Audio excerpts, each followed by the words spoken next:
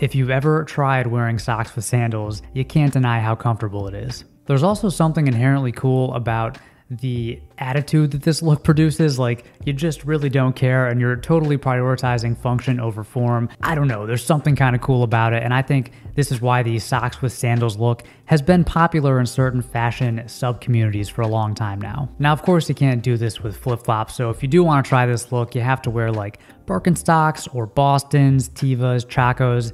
Make sure your socks are clean and thick Wool is probably the best material or a high quality like combed Pima cotton. I'd probably go with socks that are a solid color that maybe have some texture, maybe a subtle pattern. Now I can practically feel you rolling your eyes right now, so let me know down in the comments section if you would ever attempt to break the no socks with sandals rule.